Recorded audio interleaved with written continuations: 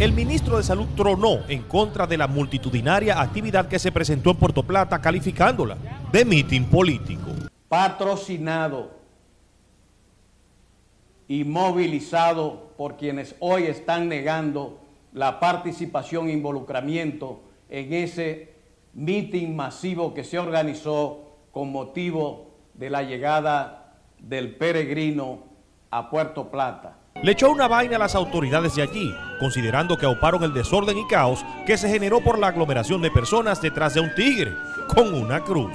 La sirena que ustedes oyeron no son del 911, sino de unos camiones donados y puestos a disposición del ayuntamiento local y que fueron activados y acompañados durante toda esa protesta, igual que los equipos de sonido que organizaron no una procesión religiosa como se pretende con relación al, al visitante peregrino, sino una actividad verdaderamente política. El país se encuentra en shock debido a la loquera en la que se ha visto envuelta la población de esa provincia turística. Que rechazamos y pedimos a Puerto Plata y a todo el país la toma de decisiones drásticas en contra de los patrocinadores de esta vagabundería. Trascendió, según chisme, que el peregrino de Puerto Plata supuestamente se buscó una funda, por lo que ya este lunes arrancaron dos con cruces a cuestas, una de ellas hasta con ruedas,